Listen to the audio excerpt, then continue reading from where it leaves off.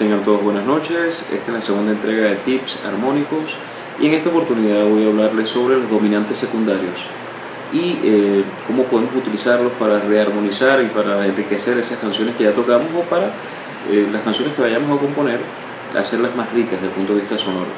Primero que nada tenemos que explicar cuál es la función del dominante. ¿okay? La función del dominante es causar tensión desde la tónica para volver nuevamente a ella. En el caso de Do, eh, la relación en, en cuanto a, grados entre una tónica y una dominante es de 5 grados, ¿ok? Ascendente. Entonces, si vamos de Do y queremos buscar su dominante, por supuesto contaremos 5. 1, 2, 3, 4, 5, Do, Re, Mi, Fa, Sol. Sol sería la dominante de Do. Eh, la dominante para, para, que su sonoridad sea mayor debería ser séptima, ¿ok? Séptima menor. Entonces, vean la tensión que ocurre entre Do séptima mayor y su dominante, Sol séptima menor. Va hacia ella, se crea la tensión y luego vuelve otra vez a él y se crea el descanso. Entonces esa es la función de la dominante, crear tensión para después descansar en su nota tónica.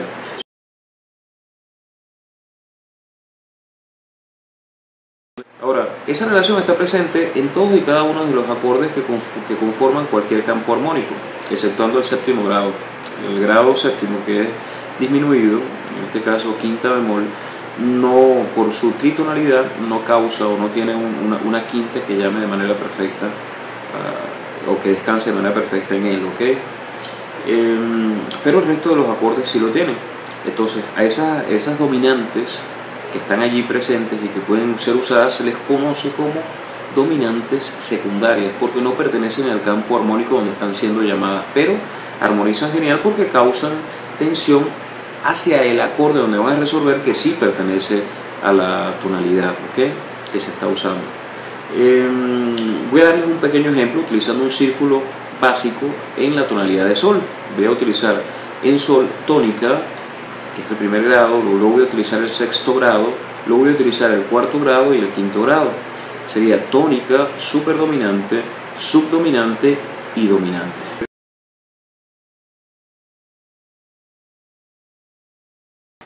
Todos con séptimas agregadas, ¿ok? Para lograr mayor sonoridad. Sería entonces un sol mayor séptimo, un mi menor séptimo, un do con séptima mayor y un re séptimo, ¿ok? Entonces tenemos acá sol con séptima mayor, mi menor séptima, do con séptima mayor, re séptima. Y así se cierra el círculo. Ese círculo yo lo puedo enriquecer. ¿Cómo? Fácil. Al acorde posterior a, Sol, o sea, al sexto grado, él es uno de los que posee dominante secundaria. ¿Cómo la consigo? Fácil. Cuento desde el acorde 5 hacia adelante. Entonces, si es Mi, en este caso es Mi, cuento Mi, Fa, Sol, La, Si. Y ese acorde que acabo de obtener lo vuelvo séptimo.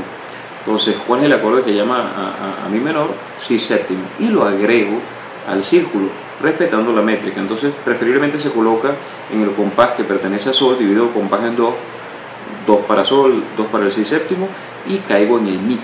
Y debería sonar muy bien. Vamos a ver.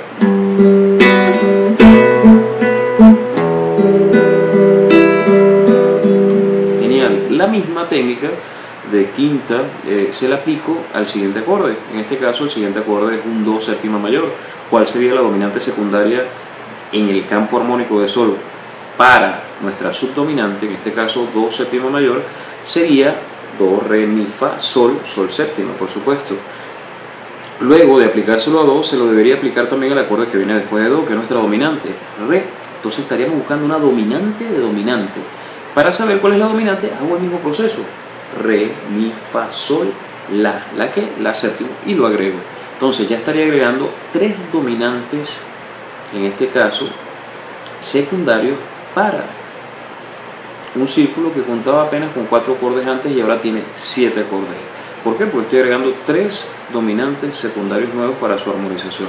Vamos a ver qué tal queda.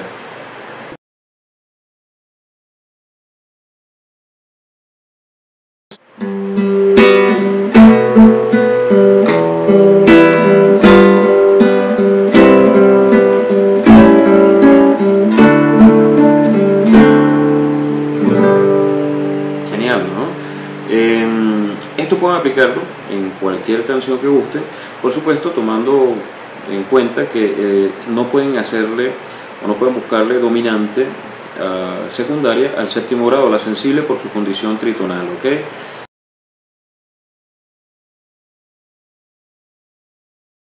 Eh, del resto, espero les sea de, de, mucha ayuda y que nada, empiecen a rearmonizar los temas que ya se saben o a crear nuevos temas de su autoría utilizando este recurso para obtener una mayor sonoridad.